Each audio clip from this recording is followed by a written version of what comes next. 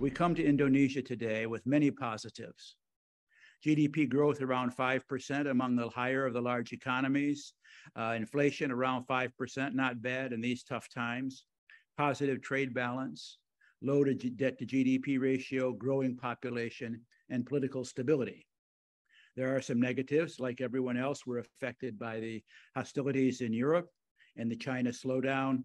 Uh, manufacturing slowdowns is, is causing layoffs in a number of sectors, especially textiles, footwear, and electronics.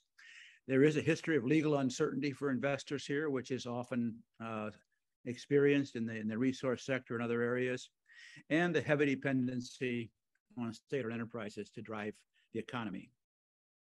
Still, Indonesia has much to recommend it to foreign investors, with 26% of the population under 15, in stark contrast to the rest of a, uh, aging Asia. It's also maintained a careful diplomatic neutrality, as I mentioned. Um, it's the world's fourth largest country, et cetera. We all know this.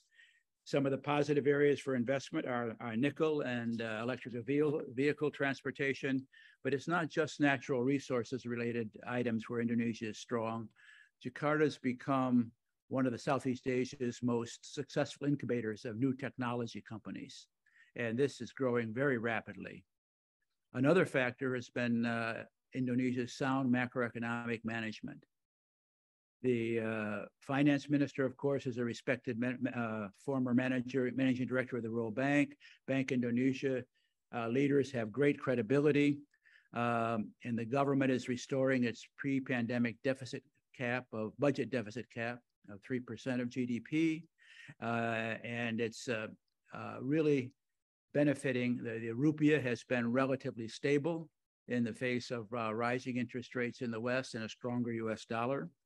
We've had a number of um, uh, uh, important investments in the green energy space. Uh, Indonesia just formalized a collaboration with the Australian renewable energy company Sun Cable, taking the first steps to create energy an energy distribution network that should unlock about $100 billion in green industry's economic potential in the archipelago over the next decade. So there are very number of strengths. There are, of course, risks. There are risks everywhere.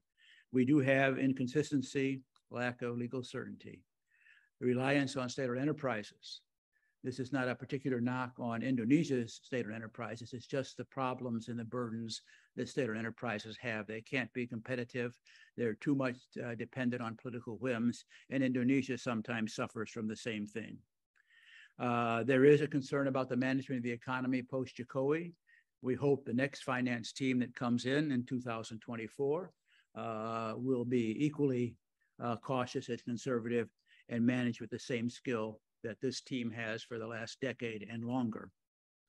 Uh, economic nationalism uh, springs its head. There's talk of a cartel for battery minerals, which will violate pretty much every trade agreement Indonesia has signed. So that'll be a difficult workaround for people. Manufacturing overall, Indonesian manufacturing sector is not strong.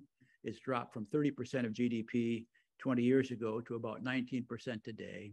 And so there are some uh, other areas here because of domestic content rules, because of non-tariff barriers, Indonesia has not attracted its fair share of investment that's moving south from China into places like Vietnam and over to places like Bangladesh.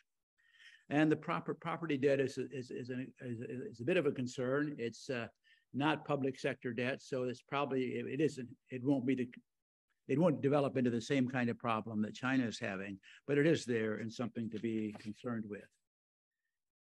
So the next 24 months should be pretty good. The most uh, serious uh, near-term economic challenges will come from the international environment rather than domestic. China's slowdown will inevitably affect both commodity prices and its ability to continue its role as a major foreign investor. The domestic challenges will be to continue to make progress in improving social welfare and equality while maintaining macro stability, as well as funding this upgrading that I mentioned. Nevertheless, the government will continue to exercise tight control on the budget and should be able to return to a 3% deficit cap within the next several years.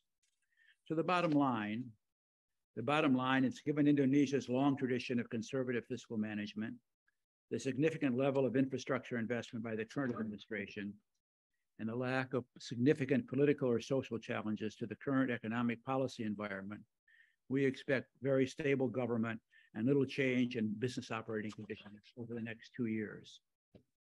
The biggest transition risk in 2024 may well be the appointment of a weaker finance minister who cannot effectively defend the prudent fiscal policies of the last decade in the face of strong fiscal challenges that inevitably come from a democratically elected parliament. This consistency, coupled with continued prudent fiscal policies, which we consider highly likely, is proving more attractive to foreign investors in the sectors that are open to them. This will support growth. SOEs will continue to dominate many areas of the economy, um, making acceleration beyond five to five and a half percent unlikely, but still that's a good number.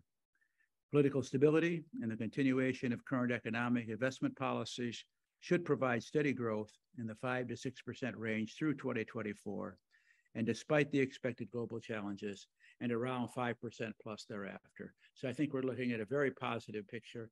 Uh,